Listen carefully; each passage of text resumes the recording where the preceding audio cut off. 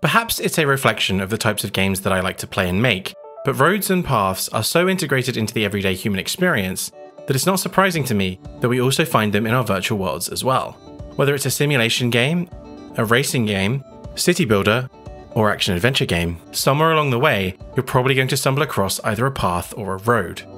And so, paths and roads are something I often find myself wanting to implement in games I design. Sometimes we want to place roads and paths simply for building out an environment for a level, and other times we may want to build a full fledged feature and have the player place roads themselves. In previous projects, I'd often rely on a tile based solution, which is often pretty simple to work with. There are usually a fixed number of tile types, and we can quite easily build rule sets around which tiles can snap together, and so it's a very puzzle piece like process with limited tooling requirements.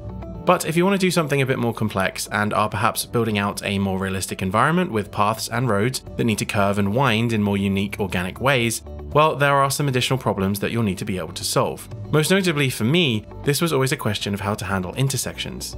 In my early research on the topic, I found a lot of resources about spline based roads, but most of the solutions I found would result in either cyclical loops with no junctions or branching splines that would be extruded in a super basic way that created utterly impractical intersections. Thankfully, though, I think I've finally figured them out. Hi there, I'm Matt, and welcome to Game Dev Guide. And in this video, we're going to look at how we can procedurally generate a mesh to draw a branching road or path network complete with intersections. We're going to use Unity's new spline tool to map out the data for our road layouts, which we'll then build a mesh out of using our own custom script. Then, we'll use some custom editor tooling to create junction data and procedurally construct intersections between them.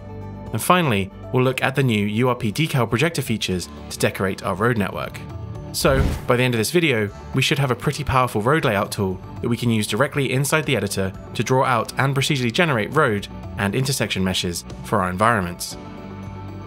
Before we get started, this video is sponsored by Unity as they wanted me to let you know that the 2022 LTS is now available for download. Aside from the various performance improvements and optimizations, some of the coolest changes I'm excited about with this new LTS are the two features that we'll be exploring in this video, the spline tools and updates to the decal rendering in URP, so stay tuned. There also seem to be some really neat improvements to the HD render pipeline with this release too, including volumetric materials, cloud layers, and most impressively, a powerful new water system. I think you'll agree that these are some things that Unity has quite desperately needed for a while now, so better late than never, I guess. Perhaps I'll have to find some time to explore these in the future and build out a project in HDRP. Anyway, I'll post a link below to the blog post, which goes into detail outlining the full list of new changes and features. Thanks again to Unity for reaching out. So I was originally going to show off a super basic spline system for this video, but after some experimenting with Unity's new spline tool, I discovered it's actually pretty great and has a solid set of features that we can take advantage of. So I was kind of worried that I'd have nothing to talk about. However, as is the case with most Unity packages, it does only get you so far. For instance, the extrusion script is pretty limited. Basically, this script creates a polygon of a given number of sides and extrudes it like a tube around your spline, which is useful for things like ropes, vines, or anything else tubular in nature, but not really great for roads. It's also worth pointing out that our spline profile is a fixed radius and rotation, so we can't really adjust this shape much, nor do we have any control over its UV mapping, which also isn't great. Additionally, while the tool supports branches in splines, the way that the package handles connecting up the splines at these knots is fairly simplistic, which leaves us with a lot of overlapping geometry. So we end up with some rather funky and extremely limited edges at the intersections. And so this is where my further research kicked in. See, I was curious how most open world games handled this, so I went out and found a number of technical talks from various studios. And uh, Houdini. The answer most of the time always pointed to Houdini. And Houdini, while I will eventually conquer you one day, today is unfortunately not that day. So I kept digging and eventually found this absolutely outstanding retrospective of Burnout Paradise, which for anyone interested in open world design, I highly suggest watching. I'll leave a link down below to it, as well as some of the other resources I found useful during my research. One major takeaway for me from this Burnout Paradise talk was that they used splines to map out the streets, but rather than branch out the spline and magically create these intersections, they simply just used one spline per street and built the intersections afterwards, connecting up the splines. It's so simple. So that's the approach we're going to use here. We'll use the spline tool as our basic data structure for each road, but we'll handle the extrusion of the road and generation of intersections ourselves. With that in mind, let's get started. I have a pretty basic URP scene here in Unity 2022 LTS. It's just a plane and a simple skybox that I created. First things first, we'll go ahead and grab the splines package from the package manager. Let's also generate the project files for our packages in C Sharp. There's a lot of stuff in the splines package, so doing this will allow us to filter through it in Visual Studio and browse through its classes more natively. If we create a new spline object and begin drawing a spline, we can see that this spline container class here is the main wrapper for our spline tool.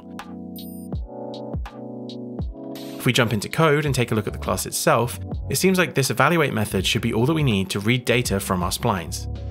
So I've created a little class here that takes in a spline container and exposes an index and time value for us to sample. Then, using the evaluate method, we can set a position. And I've just written a little bit of gizmo code here to visualize that in our scene view.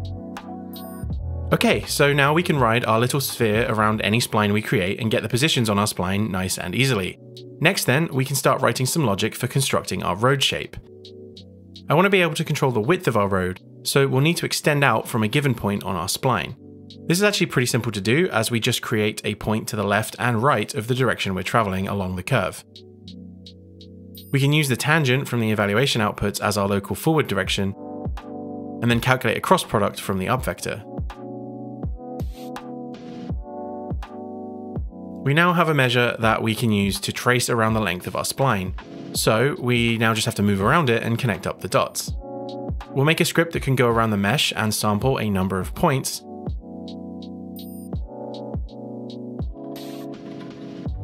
and then we'll join these points up in a for loop and build out a mesh. Now we have a spline mesh. The main issue right now though is if I edit my main spline here, the mesh doesn't update. So let's sync our mesh generation to the spline. Thankfully, there's a lovely little delegate included in the spline package for this.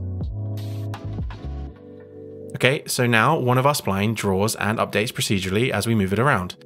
But we have multiple splines here, and so ideally I'd like this script to be able to fill out the mesh for each of our splines in this container. This means we'll need to add a bit more code in our getVerts method here and iterate through all of the splines in our group. Hmm, these edges shouldn't be joining up like this. Looks like we also need to update our build mesh method and account for the vertex offsets as well. There we go, each individual spline now has its own mesh. We can now build out various different groups of splines to act as each of our paths and roads. So now it's time to deal with our intersections. But how do we go about smoothly joining up these various shapes? Well, if we bring these knots close together, you may be able to notice that actually, to create an intersection mesh, we can just join up these various corners to one another and then fill the hole. The challenge then is to know which points on our spline we're trying to connect to which other points on our spline. Now it's safe to assume in this scenario that we're only ever going to want to join up the start or end point of a spline, so we can actually evaluate at either 0 or 1 on the curve. However, we don't know which of these points here are which when going into a junction. It could be either the start or the finish. Thankfully, the spline tool comes to the rescue again because knots are indexed. So we can use some editor fun to grab our selected knot point and determine where on the spline we need to sample from to build our junction. Unfortunately, this is the point where we run into something that almost always happens whenever trying to do more with Unity's tools. This spline selection class here has a very useful reference to the currently selected spline in the editor, but it's annoyingly marked as internal, so none of our default code can get a reference to it. We actually can get access to this info, but it's super hacky. With an assembly definition reference, we can write code and pretend as if we're inside of an existing assembly, so in this instance, we can create an assembly definition reference that points to our spline package and create a sneaky static class that the rest of our codebase can talk to. Now that Unity thinks that this is part of the assembly, we can actually access any internal fields and methods. So then, we can create a new struct in our class here with an almost identical format to our selection info struct and pass in its elements. And then, as this new struct is marked as public, the rest of our codebase can now access it. Like I said, super hacky. Anyway, we've now exposed which splines we have selected and can create this little overlay panel that exposes that info.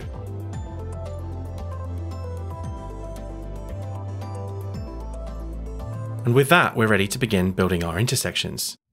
I've created a struct that will hold our data for an intersection, and so each point we select on our spline will be considered a junction. When we press this Build Junction button, the tool will pass the data for each spline and knot into our intersection and act as a container for our road tool to use. In our road script, we can use this intersection data to sample our junction edges and calculate the center point.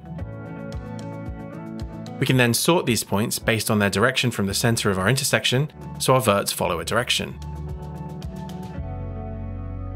Then we just go through and wind triangles from the center point around each vert, filling in this space. And so this is pretty good. We've got some nice intersections now that will dynamically change alongside our splines.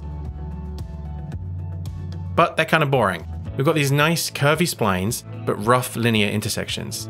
It'd be quite nice if we could also get some curves on these intersections too. In order to do this, we can basically build an intersection by adding a curve between each corner point of our junction. After all, a curve is as simple as lerping between these two points and a center point. So, we just need to grab the end point of one junction edge and the start point of another junction edge, and then define them as a pair. However, because of the way that our splines work, our neighbouring edges may actually be the same point, to illustrate this, I've coloured our start point red and our end point blue here in our gizmo. As you can see, due to the direction of each spline, we sometimes see a start edge and another start edge as neighbours. So we'll want to fix this. Let's store the edges of our junctions in a struct so that we can make sure that we connect the left and right points together correctly. When setting up our junction edges, all we need to do is figure out whether they're pointing inwards towards the centre or not. This is actually quite simple to figure out because if the spline point is in an index of 0, we know that the spline is facing away from our junction. Now we have nice alternating edge points and can rely on connecting our red points up to our blue points. Like before, we'll also make sure to sort our junctions so they're always ordered in a direction around the centre. We'll create a new Bezier curve by sampling the left point of our previous junction and the right point of this current one. We'll then create the middle control point for our curve by sampling the middle point between our two edge points and then moving the result of that towards the center of our intersection. Then, we just evaluate our Bezier curve over a given number of steps to create a series of points for our curved edge. And we can just use the same method as before to join all our vertices up, looping around them and winding our triangles from the center point. Now we have curved intersections. The only issue here is that each intersection edge is curved, and well, it'd be pretty great if we could uniquely control the curve node on each edge. In our intersection, let's create a new list for our curve strength. We'll use this value to control the power of our lerp. In the overlay we've built, we can expose these values in a slider from 1 to 0. So 0 will mean we end up with a straight corner, and 1 a fully curved corner. Alright, we're very nearly there now, but I've noticed that we got some weird quirks if our junctions are a bit off. So let's maybe add some additional weighting to the curve center point. We can actually get most of the way there by offsetting our midpoint here, so rather than lerping from the center of our two points, we actually lerp from the opposite direction of our center point. So now if our slider sits in the middle here, we have a straight edge. If we move to the left, we curve in one direction, and then if we move to the right, we're curved in the opposite direction. And then we have it. We now have a full spline tool that allows us to procedurally generate a full road mesh complete with nice intersections and curved edges. At this point, we have a complete tool, but the mesh is kind of plain looking, so let's improve our visuals a little bit. I have a road texture here that I've created that I'd like to use, but our mesh currently doesn't have any UVs.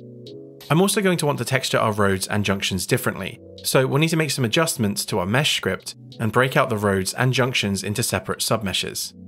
Now let's get working on the UVs.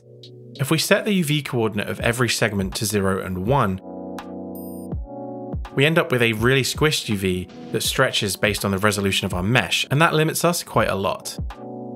Similarly, if we set the UV to the position of the vertex, we end up with a tiling global texture, which is not great either. What we want is for the road UVs to dynamically map itself relative to the resolution of the curve. So while our y coordinate will map between 0 and 1, at each point on the curve, we'll add the x value of the previous point based on its distance. As you can see, doing it this way means that we procedurally generate UVs that work for our road because it's all distance based. And then for our intersections, they're mostly going to be using a plain texture, so it's actually perfectly acceptable here to just use a world space UV coordinate. With that, we now have a fully textured road network, which is pretty awesome. For some final flourishes though, let's add some decals onto our roads. Decals are an extremely useful way to add additional detail to meshes like this. In the renderer features section of our URP settings, we'll need to enable the decal renderer. And then we can use the decal projector object to place these textures into the environment. I've created a special decal texture that has a bunch of different elements inside, and so we can use the settings on our decal projector object to tile and offset the texture in whatever way we want. For the first spot here, let's add a crosswalk at the junction like so. The only issue is that our decal projector is drawing on top of everything, which uh, doesn't look great. We kind of only want it to draw on the roads and ignore everything else. Thankfully, 2022's light layers solve this issue, but we'll need to go back into the renderer feature and enable them. Then we just make a layer for our road and assign this to both our mesh and our decal projectors. And voila, our decals are no longer projected onto our car or the rest of our environment. I've gone through and added a number of extra details across the various road parts here, and I think it really adds a lot more variety to the look of our road. So finally, let's just wrap this level up with a little bit of additional detail. I've created a few trees here, and I'd like to fill the areas alongside and around our road with them. Fortunately, the spline tool comes with some features that allow us to procedurally place geometry along the spline, which is perfect for placing these trees around our map. So we can use this instantiate component and play with the various settings to lay out our different trees, adjusting the spread and rotations. It's a massive time saver being able to place them like this, and I'm very fond of this workflow. I've also added some street lamps along our main spline here to really finish off the look of our road. So there we have it, an almost entirely procedural road network built using various spline tools and extensions. What I really love about this is how easy it is to build, edit, and adjust level layouts. Obviously, this is just a starting point, as I'm sure there's a lot more that you can do with it, depending on what the demands of your game and its environment might require. But hopefully, this initial set of tools and techniques are useful to you and something that you're able to build on in your own projects. And that's about it for today's video. If you've enjoyed it, please do give it a thumbs up and let me know your thoughts down below. If you're new to the channel, consider hitting that subscribe button as you'll get to know when new videos go live, or if you'd like to see more from me first, consider checking out one of the suggested videos on screen now. As always, thank you very much for watching, and I will see you again next time.